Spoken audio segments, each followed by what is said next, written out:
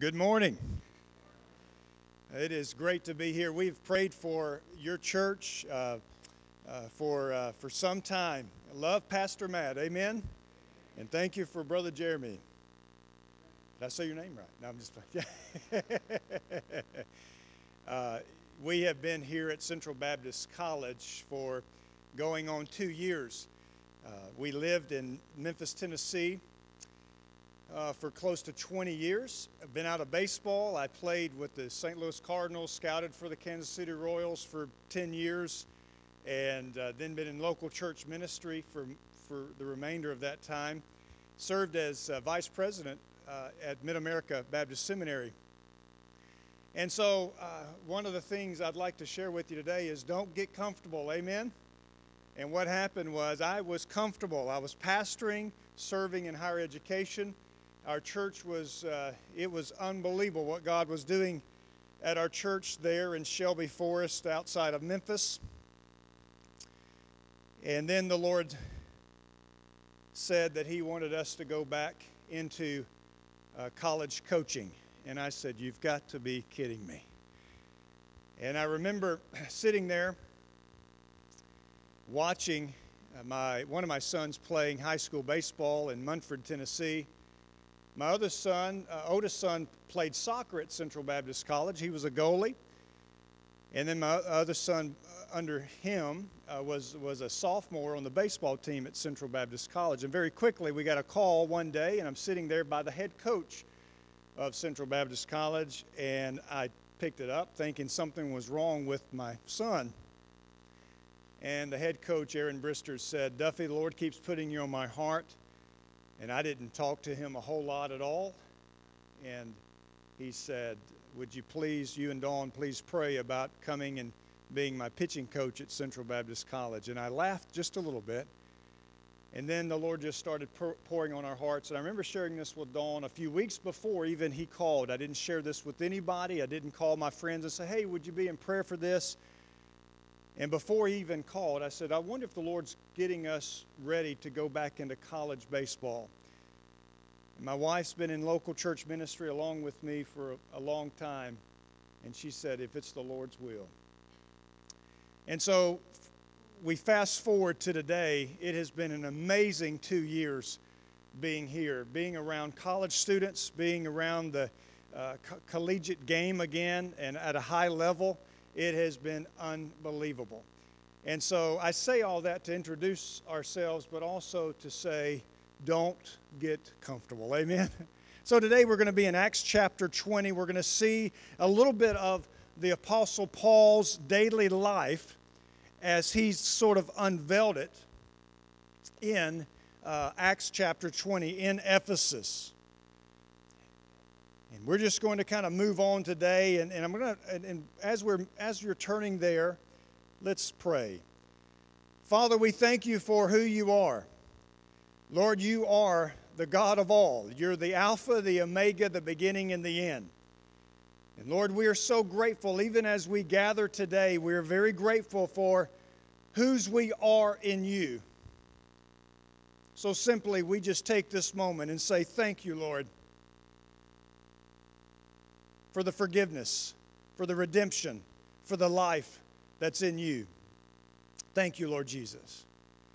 And Lord, we simply say, have your way through your word. We know that you speak mightily through your word, even in this day and age where it seems like everywhere we go, your word is discredited and, and, and undervalued. But Lord, your word is life. So, Father, we simply say, Lord, teach us through your word today, and may your will be done we simply say, Lord Jesus, we love you. In Jesus' name, amen. I don't know about you, but I, growing up, I, I always uh, wanted to be sort of a hero. And I tell you what, John Wayne was my hero. I love John Wayne. Some of you are going, who's John Wayne? I don't know who John Wayne is. Saw John saw a movie last night on, on John Wayne. So loved John Wayne and loved the way that he could just handle things and the way he would walk and he would just and especially as he talked. But we always have, I don't know about you, but we, we, we have that, you know, that we want to we want to do things that help people, don't we? And that's really what heroes are. And in 1 Samuel, really starting with chapter 13, but 1 Samuel 14, Jonathan, Jonathan and his armor bearer faced on Mount Michmash, and I believe we'll see that in just a minute. This is a, a nowadays picture. Uh, if we uh, if we can go ahead and turn there to Mount Michmash, but Jonathan and his armor bearer was at the bottom of this of, of this area. And you had the Philistines on one side of the mountain, and they were taunting Jonathan, and they were really taunting the Israelites, about 600 soldiers. King Saul was over on the side where you can't see, sitting, not doing anything. Jonathan looks up and says, We're going to do something about it. They didn't have hardly any weapons. And so here the Israelite, I mean, the, the Philistines were on top of this, of this mountain here. They're down at the bottom. And he looks over to his armor bearer, and you may say, Well, what's an armor bearer? Well, an armor bearer was, was what we would clar- uh, clarify today as a, a, a fierce warrior. Well, he had to know his stuff because he was there to protect the second in charge, wasn't he? So he had to be a fierce warrior.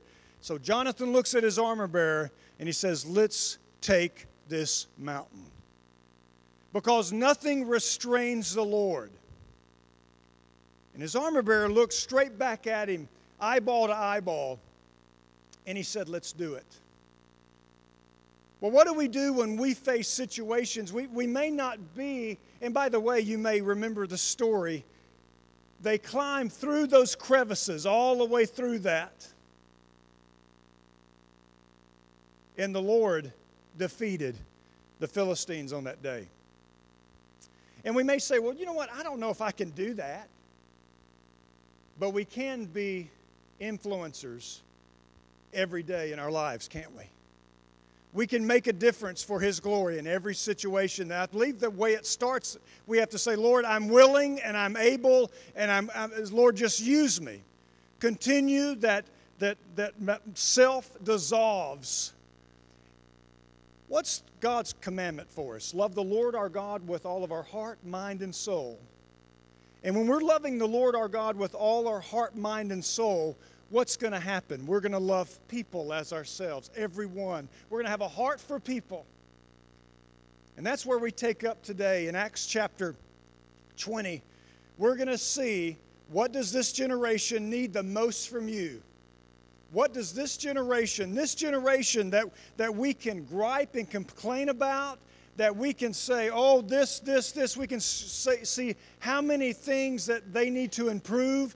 But you know what? God has put His church, His body, right in the middle of this generation. And for so long, as, as a pastor, I would stand, even at near the end, and I would say, We need to fight for the souls of this generation. And I asked my wife, I said, Do I say that a lot? She said, Oh, yeah, you say that a lot. but that was my heartbeat, having really no idea that God was going to move us out of a very comfortable, comfortable setting to an area where it was God saying, Okay, big boy, now you're really going to fight. You're going to learn how to fight for the souls of this generation. And God used Acts chapter 20. He used Philemon, and he also used some passages in Romans to, to confirm that or affirm that on my heart. And I'd like to just share from my heart with you Acts chapter 20. What does this generation need the most from you? So we're going to begin in Acts chapter 20, and we're going to start with verse 17. This is Paul's third missionary journey. And as he's as he is selling past, he, he sells past Ephesus and he goes to Miletus. Well, he has some really good friends that are pastors and elders and leaders that are in Ephesus. And he calls for the elders there from Ephesus. Now, Ephesus to Miletus is 63 miles by walking.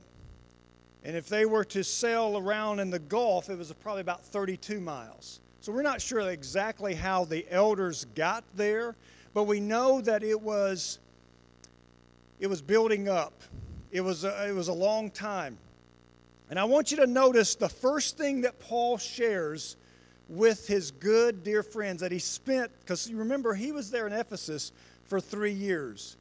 He got to see some high, high things going on, some great things that God was doing. Also, got to see some very difficult persecution type things that were going on as well. And so here he gathers his friends together.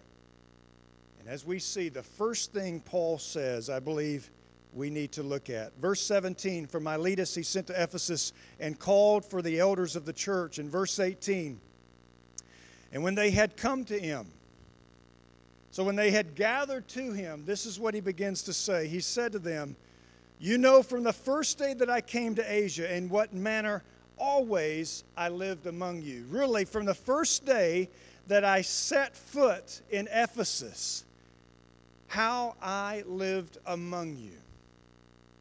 He didn't say, he didn't uh, share a story, he didn't share a, a joke. It was serious from the very first thing that he said as they gathered there. The atmosphere was solemn. It was serious because he's heading to, to Jerusalem. That was his goal for the day of Pentecost. So he was heading that way. That was his goal. That was his, that was his desire. And so as he gathers them together, he says, You know, from the first day I came to Ephesus, what my purpose was, my desire was, is to glorify Christ in every aspect of my life. It wasn't about Paul, the apostle, it was about Jesus Christ. And then, then as he continues, kind of sets the tone. They're listening because they're thinking, well, yeah, we, we do understand the first day you came here. You know, it's all listed in Acts chapter 19 of, of really what went on. And in Acts chapter 19, we see that the first thing that, that uh, when he got to Ephesus, he saw a group of about 12 John the Baptist disciples, so to speak. They were baptized into John the Baptist baptism.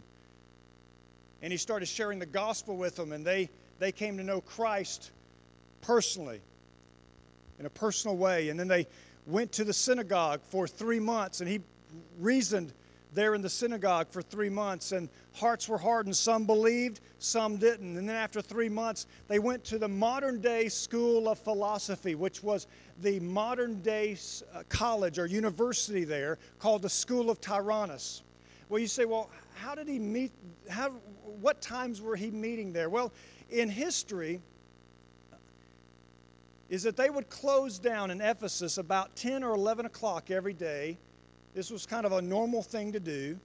And then they would reopen about 2 or 3 o'clock. It was sort of like a rest time or what we would term as a siesta time. And so that school of Tyrannus, and there, there's the ruins there.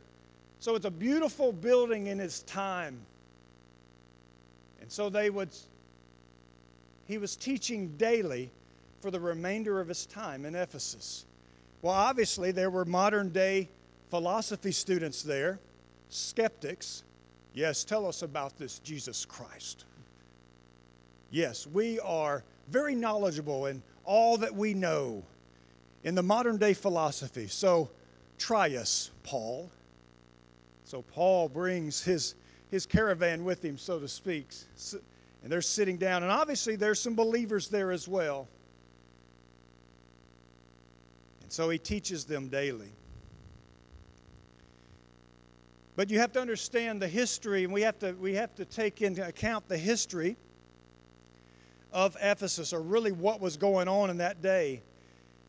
Ephesus was a modern day hub of activity.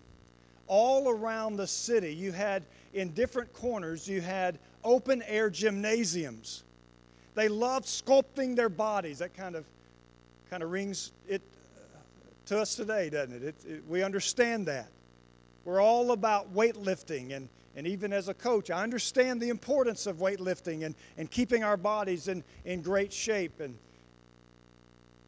but they would do that, and they also had, in the day and time, they had, they had not only open air gymnasiums, but, but open uh, bathhouses, running water, that aqueducts would bring the water in And so people probably talk like this Hello. We're very sophisticated here in Ephesus. But what controlled and moved Ephesus was the temple of Diana or Artemis. She was the goddess, goddess of fertility. And not only the goddess of fertility, meaning that the crops would be fertile, but also that, that if they worshiped Diana, that their families would be blessed as well. And so if we could look at the, the uh, that's, that's a rendering of the temple of Diana. And when you look in Acts chapter 19, just for fun, when you're looking at that, and during part of that, they moved some of Paul's companions. They were um, Demetrius, who was a business owner at the time. He was mad that, that none of his um, his business his business was going down because people weren't buying those statues or, the little little figurines of Diana. And so a crowd assembled in the amphitheater, which was near 10,000, could seat 10,000 people. It was amazing.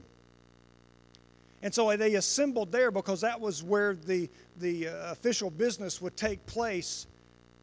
And you noticed when the official administrator came on on the scene, and he was a good friend with Paul. He said, These men have done nothing wrong. They have not robbed us. Well, what does that mean, have not robbed us? Because in the temple, in the very center of the temple, was the bank. And so, can you see, there were even so many people on a daily basis all around that temple. That was the center of activity. So that's when you're reading that, you may say, well, what does that mean? They didn't rob us. Well, they weren't after the money that's in the temple. And so during a, a daily life is that Paul would be, would be living his life for Christ with this, these group, this group of men, and he's proclaiming Christ, living Christ daily not allowing the outside world or not allowing the, the other things to distract him from the glory of Jesus Christ. And let's continue to read. Now, it's very important when we read verse 18 in what manner I always lived among you. Verse 19 explains that. Well, how did Paul live his life?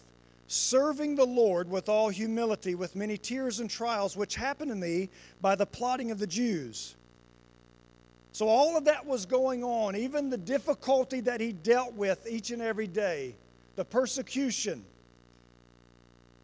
But then in verse 20, how I kept back nothing that was helpful. He did not allow the persecution to deter him from what was what was good for Christ, but proclaimed it to you and taught you publicly from house to house. Not only did he proclaim in the school of Tyrannus and also the synagogue that we've already heard about. But also, you see a picture of what he did every day. He would take that group and he would go to where the local church would be meeting in different houses, because that's where the local church would meet. They would meet in their homes. And so, as he's going, you saw that what he did throughout the day, that he would be teaching in the school of Tyrannus, and then in the afternoons and nights, he is ministering to the local church in their homes.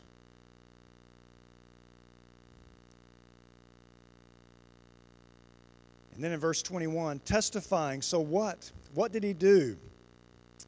What did he say? Testifying to Jews and also to Greeks repentance toward God and faith toward our Lord Jesus Christ. And see, now I go bound in the Spirit to Jerusalem, not knowing the things that will happen to me there except that the Holy Spirit testifies in every city, saying that chains and tribulations await me. Now, are you ready for verse 24? They're sort of on the edge of their seats. They're listening intently. Some are realizing we're not going to see Paul again. And then verse 24 But none of these things move me nor do I count my life dear to myself, so that I may finish my race with joy, or literally contentment, and the ministry which I received from the Lord Jesus to testify to the gospel of the grace of God. What does this generation need the most from you? And that this generation needs to see people of the Lord who are committed, broken, and don't care about being a superhero, but care about only thing is honoring the Lord Jesus Christ. When we honor the Lord Jesus Christ, everything else is going to take care of it, of itself. We're going to love people the way Christ desires us to love people, even in the great times, even in the not so great times. And boy, has it been a reminder in these last two years. Getting a call from a high school baseball coach. And the high school baseball coach says, Don't, don't waste your time on this guy. He will let you down every single time. Don't, let, don't, don't waste your time. Last year at our spiritual retreat, we had all of our ball players there, some students were there, and he gets, and man, the Lord's really moving on his life, and he gets up at the platform, and he, and, and I'm thinking, oh, what is he going to say? And he starts hitting the platform with his fist, and I went, oh, man. And he said, I've just got, he said, I've just got to obey.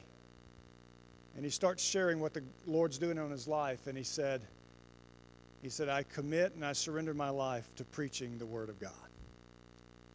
Six foot four, 235 pounds. If he didn't wasn't a pitcher, he would probably be a tight end for the University of Arkansas. One of the best athletes I've ever been around. He came over one night. This was a few weeks ago, and I just I got home real late from working at a, a, a, getting the field ready for a tournament, and so I was just getting out of the shower, and my wife knocks knocks on the restroom uh, on the bathroom and said, "He's here with his uh, sister." And so I walk out, you know, and I'm with my pajamas and my uh, blue T-shirt on, you know. And he said, "Coach," he said, "Thanks for always believing in me. Thanks for never giving up on me." Guess what happened? He graduated. And that coach said, You're wasting your time. He'll never, ever make it in college. Now, there are times where I felt like just pulling my hair out. There's, you know, we're going to be real. But the Lord keeps rem- reminding me of this passage and other passages that it's not our life. If we really want to make a difference, who cares about us, right? That's what Paul is saying he, when he says when he when he's in, in verse 24 it says but none of these things move me nor do i count my life worth or dear to myself so that i may finish my race with joy or contentment we say look i don't know if i have contentment in my life well have we really surrendered our life to the Lord and we've really said, Lord, it's not about my dreams and desires. And when we get to that point, I really believe God is using us in an amazing way.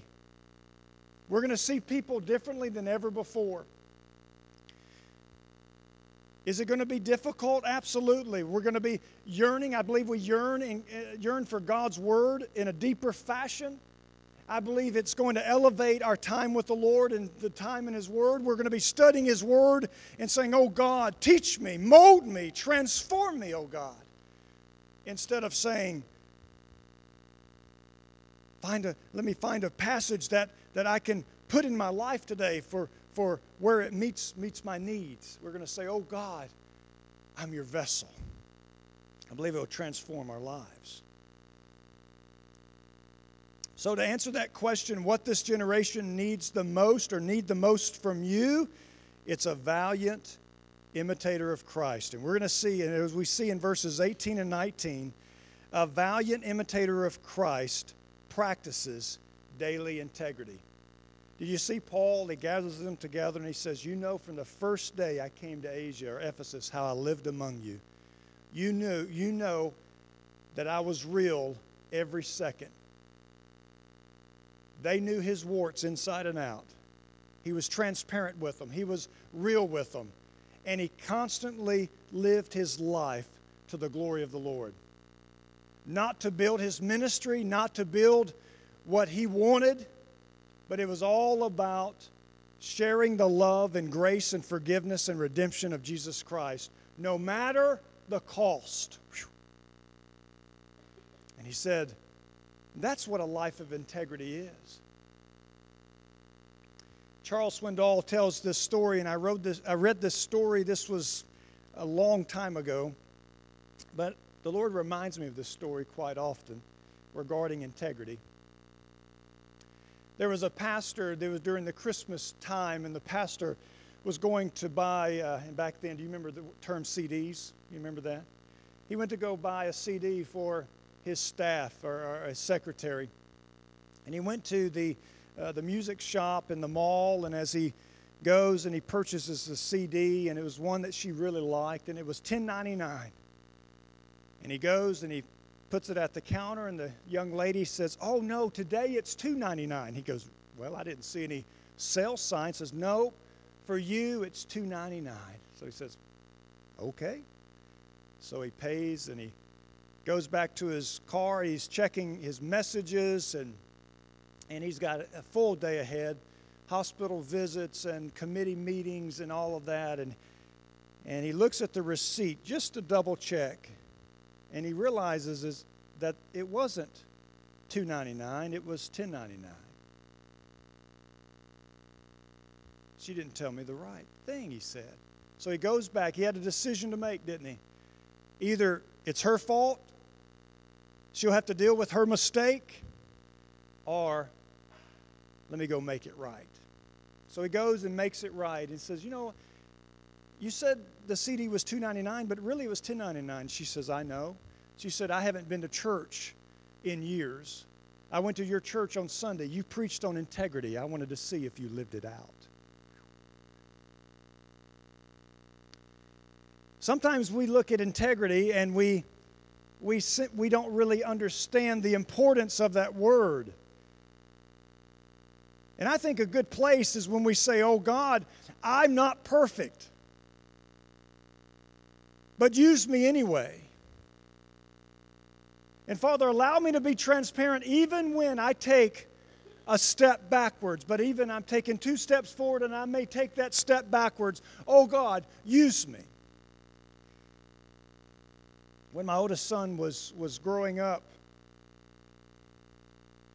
it's a story I don't, I was very embarrassed. And I always did not want my children to be, um, uh, for, for them to have to live in their dad's shoes. Because it was going to be so easy to say, well, you're going to be a great baseball player because your dad was a professional baseball player. I never wanted that for them. And my oldest son could throw a fastball at a high rate of speed. And he was about 11 years old. And I was one of the assistant coaches, and really what that meant back then. And I was I would fill the water jugs, and I would pass out water and all that. And I loved it. You know, I was having a good time. Didn't have to coach or anything. You know, good job, good job. Wait, good job. Well, he pitched that morning, and then that afternoon, the coach wanted to pitch him again. And I said, Well, I said, he already pitched four innings this morning. I said, he's going to be tired. He said, Well, he's our best pitcher, and we, we can win this game if he throws. And I went, Okay. That first inning, he was all over the place, could not find the strike zone. And I went out there thinking that I would give really good advice. I can't believe what I said. Because in baseball, I was, you know, even at a high level, we, turn, we used the term even as pitchers, if we didn't have our stuff today, even the coaches and everybody, even in pro ball, would say this phrase, and we just understood. We didn't take it personal. We didn't understand really what it, uh, we, we just understood that, hey, we just didn't have our best day. But the term was, and they still probably use it, is like, you're just not a good pitcher today. Well, that was my fatherly advice to my son. How horrible was that? And I said, Well, you're just not a good pitcher today. And when I said that, I went, What in the world did I say? He has no clue what I mean. And boy, the Lord just turned on me and turned.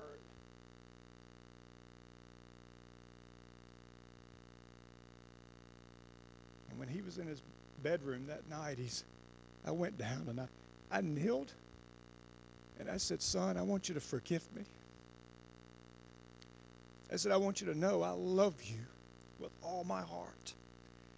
But I said, Daddy said something very idiotic today. And I had to relive and, and re share what I said to him. And he started to cry up a little, cry a little bit. I put my arm around him.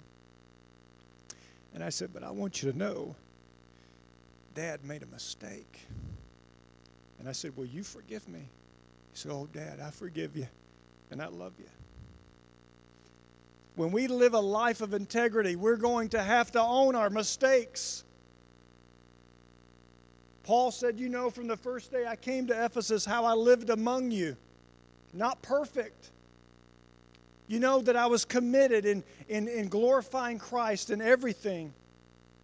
But there are times where I may not have done the best. And I believe if we are going to, to, to, to live a valiant life of, of imitating Christ in front of this generation, we're going to have to be uh, and live a life of integrity.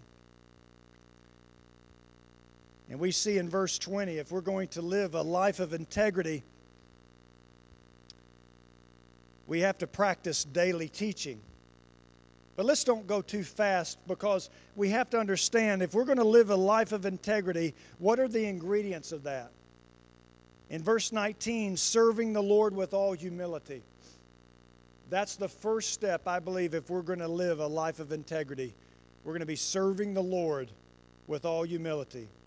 That's what Paul said. He said, You know what manner that I, that I lived that I, when I came to Ephesus, in what manner I always lived among you, each and every day, from the first day I got here until the day that I left. Served the Lord with all humility. That it's not about Paul, it's about Christ.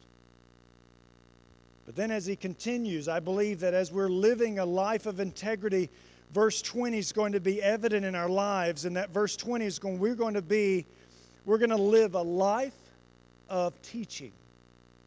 And he says, How I kept back nothing that was helpful. Help me here. Let's say I'm a new dad. I've got a three year old. And you're watching me as I, as uh, just father this child. And the three year old's walking uh, to an open flame on the kitchen stove. And you grab me by the arm and says, he's, he's walking to the stove. Don't worry about it. He'll learn how to make decisions on his own. Stand back. I'm super father. I can do all, you know. And you'll be looking at me going, Have you lost your mind? And then as the little three year old gets closer and closer and closer, then if I were to say, nope, he's going to have to learn the hard way, you would look at me and said, you know, uh, who are you? Wouldn't you? Paul says how I've held nothing back that was helpful. And what that means is, is that if we're going to live a life that influences this generation, we've always got to be a gen- uh, influencers that teach, teach, teach, teach.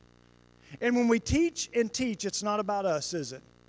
We're going to be pouring in, even though when we know they may not understand it and it may not be the norm of what they're hearing. We've got to teach. We can't go away from the gospel. This generation is hungry for the gospel.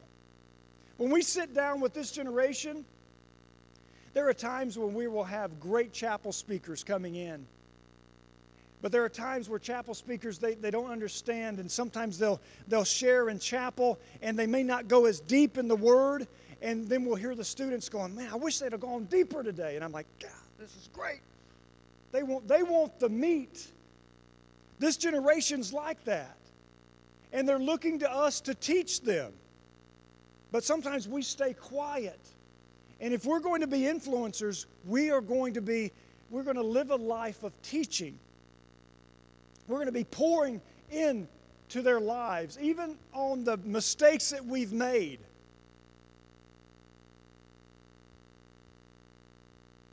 And even on the highlights, but we're going to be sharing with them the things that are right. I believe wholeheartedly this generation needs this. And if we, as His church, if we continue to stay quiet, we're not going to effectively influence this generation.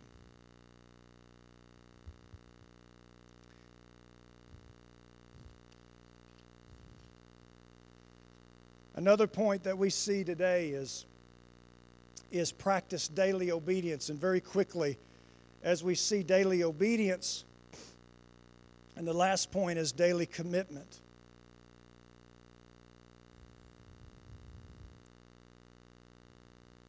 But when you see daily obedience in verse 22, and see, now I go bound in the spirit to Jerusalem, not knowing the things that will happen to me there. They understand what Paul's saying. There's like, well, that's who you are, Paul. Obviously, you're going to go bound in the spirit. You're going to not be distracted what's around you, and you're going to follow the Lord with all your heart, mind, and soul. But here's when we look at the word bound, it's a jail term or a, a prisoner type term, meaning uh, meaning shackled, so to speak. And so when he would say that word, they understood the visual of what he was saying. And so, therefore, in that time, we know that prisoners were, were shackled on their ankles, one on each ankle, and they had uh, um, a chain in the middle. They were shackled here, a chain connecting, and then they had a little round thing in the front where they would hook on to each prisoner and who was leading the prisoner or prisoners was the jailer. And he was held responsible. He was held, uh, he was responsible for every uh, prisoner. And so he would latch on and he would guide them if he was moving them from one area to the other. They were all going in a line. And so he's simply saying, I go shackled, I go bound in the spirit, not knowing what will await me there. And so what we see there, what we learn from that little description in that, in that verse or verses, is we see that Paul is going in the direction of the Lord and in the power of the Lord. And so when we are living a life of, of daily obedience, we can't be, we can't obey unless we go in the power and the direction of the Lord. And that's going to lead to daily commitment. But none of these things, in verse 24, but none of these things move me, nor do I count my life dear to myself, so that I may finish my race with joy in the ministry which I received from the Lord Jesus Christ to testify to the gospel of the Lord Jesus Christ. That's our heartbeat, isn't it? If we're going to li- live a life of commitment, then we're simply saying it's not our life. Lord, you've got all of me. And there was a little bit of me when I was pastoring. I loved pastoring, loved all about it, loved my comfortable job there in, in seminary education, sort of like the, the tower, you know. yes, we can tell you what to do here, you know. And the Lord says, I'm taking you out of that. I'm going to put you right in the middle of this generation. Thank you, Lord. You've had to remind me what obedience really is and what commitment really is. It's daily. It's a grind. It's a spiritual grind, isn't it? You wake up every morning and you say, Lord, uh, uh, love, love the, the daily refreshment that is in you, but oh God, I have no clue what's going to unfold today. And it's like the Lord is saying, I'm with you. Hold on for the ride. Be obedient. Let none of these things move you. No, no, if whatever distraction. That's what Paul was saying. Even chains and tribulations await me as he's sharing this very solemn, solemn speech, so to speak, or, or uh, sharing with his friends. He says, even tri- chains or tri- tribulations await me, but none of these things move me or distract me from the will and power of God because I want my life to be joyous. I want my life to be um, uh, a life that that uh, is is is in um, is a life that that is pleasing the Lord.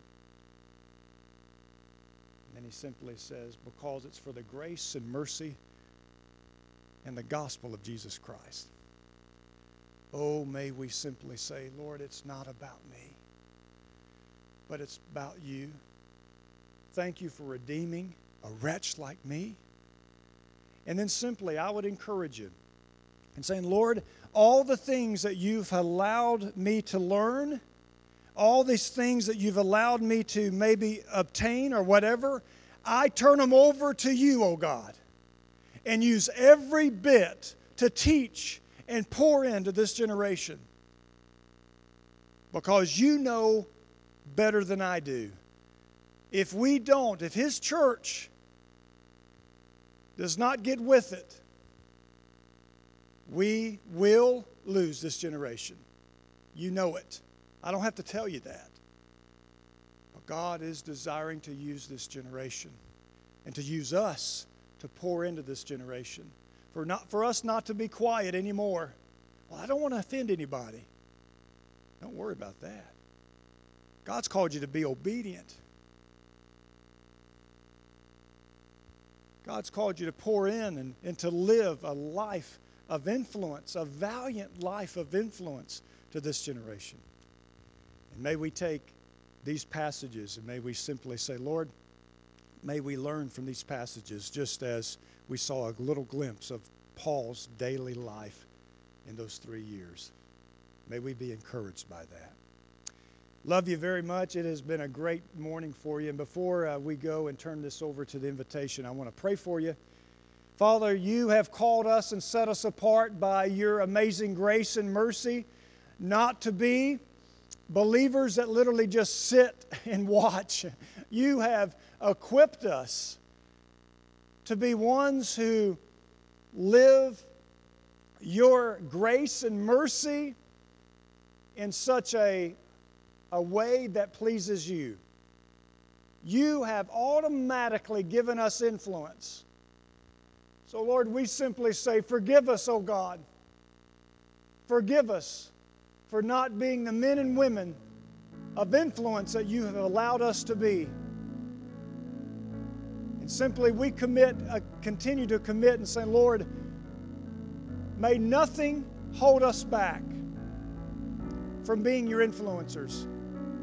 May none of these things move us, nor do we consider our lives worth nothing in order to run the race with joy for the sake of the gospel of grace. That's our call, O Lord. And may we have a heart and may we have a passion, not only for this generation, but for all generations and all people. Use your church, O God. In Jesus' name. Thank you, Brother Duffy. He did an amazing job, didn't he, guys? Yes, yes. Um, like every week, we want to give you guys a time to respond. Um, we certainly don't want to drag it out or anything. But if you have, if you want, if you need prayer about anything, I would love to pray for you. Um, if you have questions about joining our church, I know Pastor Matt's away, but we would love to answer that for you. But just everybody stand up. Let's sing a little bit, um, course of invitation, and then we're going to be dismissed. All right.